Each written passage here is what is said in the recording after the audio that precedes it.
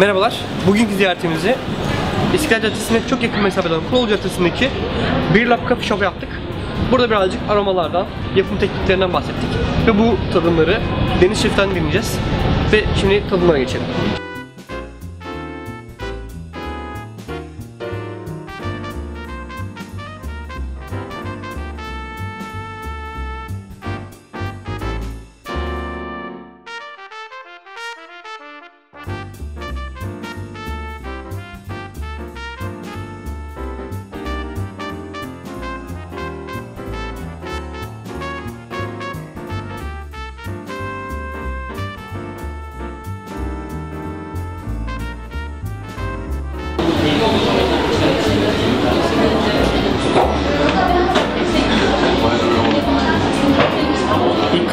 Denedik.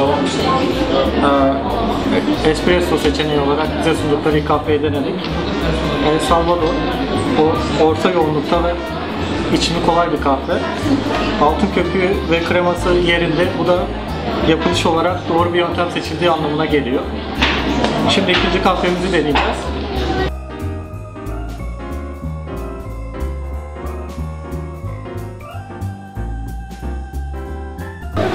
İkinci kahvemizi deniyoruz şu anda.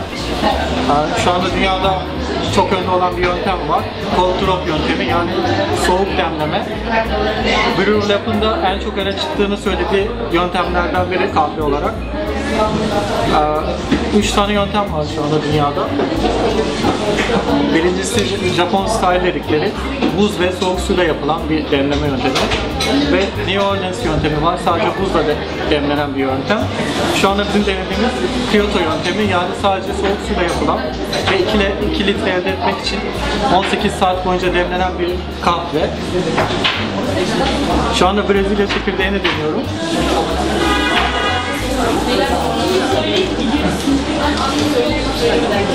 Genelde kokusunu almak bu yöntemde biraz daha zor. Ama tat olarak daha yoğun ve daha güzel bir hissiyat veriyor kahve. Diğer yöntemlere göre sıcak ve soğuk olarak ayırırsak. Espresso'nun önüne geçti şu anda. Zaten mekanın da söylediğine göre favori içeceğimiz bu.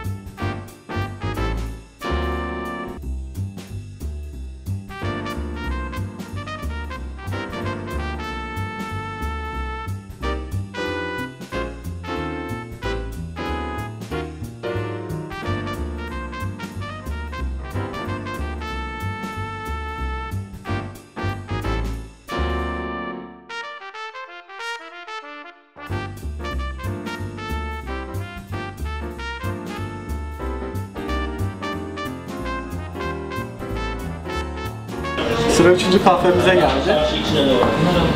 Sıcak sunulan bir kahve. Ee, Hayro yöntemiyle yapılan. Bunun özelliği özel bir cihazla sıcak suyla demlendikten sonra bubbling dedikleri çiçeklenmeye bırakılıyor ve aromasının kahve kahvenin aromasının suya geçmesi sağlanıyor. Ondan sonra bir daha suyla dem, sıcak suyla demlendikten sonra yavaş yavaş toplamda iki buçuk dakika sürecek şekilde bekleniyor ve kahve demlenmiş oluyor. Şu anda tadımını yapıyorum. Yine Brezilya kahvesi sunuldu bize. İçimi kolay, hem sıcak hem de damakta güzel bir tat bırakıyor. Önereceğim bir kahve eğer sıcak kahve seviyorsanız. Brew Lab kafede testimizi tamamladık. 3 tane kahve seçtik. Birincisi soğuk, 2 tane de sıcak kahvemiz vardı. Espresso olarak El Salvador çekirdeğinden orta gövdeli ve içimi kolay bir kahve sundular. Ee, Köpüğü yerindeydi. Bu da bizi bize yapım tekniği olarak doğru bir yöntem seçtiklerini gösteriyor. İkinci olarak da Türkiye'de çok uygulanmayan ama yurt dışında çok ünlü olan cold drip yöntemi. Bu yöntemde 2 litre kahve elde etmek için 18 saat boyunca demle soğuk su veya buzla 18 saat boyunca demleniyor. Ee, Cold drip yöntemi çok fazla tercih edilen bir yöntem değil ancak Brew Lab Cafe'nin en çok öne çıktığını söylediği kahve türlerinden biri şu anda gözümüze çarptı.